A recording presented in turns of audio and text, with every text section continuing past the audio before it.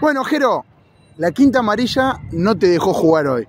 Estuviste hasta último momento a ver qué pasaba, la informaron y lo padeciste acá en la platea. ¿Cómo fue ese desenlace abrazado con los chicos acá abajo?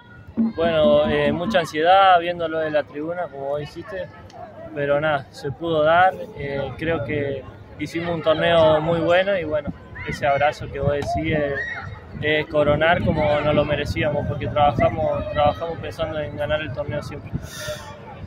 ¿Cómo es para el jugador? El último partido, el que todos quieren jugar y esa bendita amarilla que te deja fuera. ¿Cómo, cómo lo viviste en estos días? La verdad, eh, tranquilo.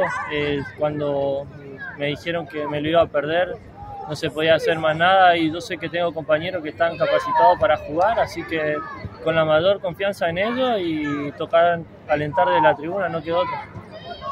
Bueno, felicitaciones, a pensar ya en la segunda etapa y a disfrutar con tus compañeros y amigos este, este campeonato. Bueno, gracias y bueno, gracias a toda la gente que vino a vernos también, que se armó un clima hermoso y nada, agradecerle a ellos y a mis compañeros que dejaron todo dentro de la cancha. Gracias, Jero.